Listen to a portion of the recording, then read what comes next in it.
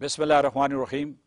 آج میں افواج پاکستان کو خراج تحسین پیش کرنا چاہتا ہوں، جو رات دن لائن آف کنٹرول اور ورکنگ باؤنڈری پر ہندوستان کی جہریت کا پامردی سے جواب دے رہی ہیں۔ کورونا وائرس کی وبا کے دوران بھارت نے موقع کو غنیمت سمجھتے ہوئے بے دردی سے کشمیری نوجوانوں کو مارنا شروع کر دیا ہے۔ پچھلے چند دنوں میں وہ اٹھارہ نوجوانوں کو شہید کر چکے ہیں۔ گنجان آبادیوں میں گھروں اور زرعی زمینوں کو آتشی اسلحہ سے تباہ کیا جا رہا ہے۔ دنیا گواہی دے رہی ہے کہ بھارت کے ناجائز قبضے کے خلاف مقبوضہ جموں و کشمیر میں شدید رد عمل پایا جاتا ہے۔ بھارتی افواج کا مقبوضہ جموں و کشمیر میں محاصرہ نہ نگلے بنے نہ اگلے۔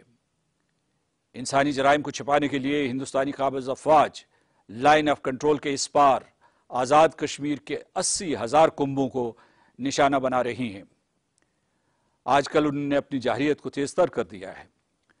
جانیں ضائع کی جا رہی ہیں، لوگوں کو زخمی کیا جا رہا ہے اور انفراسٹرکچر کو تباہ کر دیا گیا ہے۔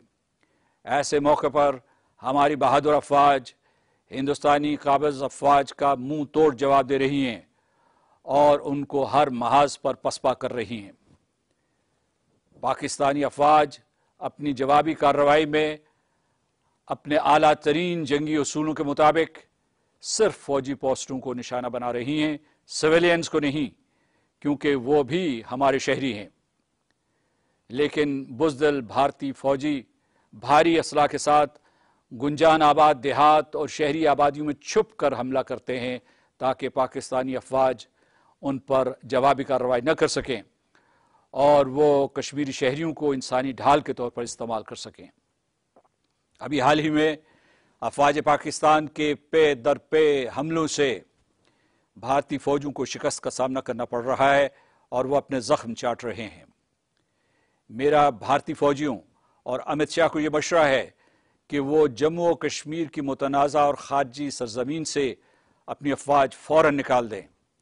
اس طریقے سے وہ اس گریازاری سے بھی بچ جائیں گے جس کا وہ ہر روز مظاہرہ کرتے ہیں۔ آزاد کشمیر زندہ باد۔ پاکستان پائندہ باد۔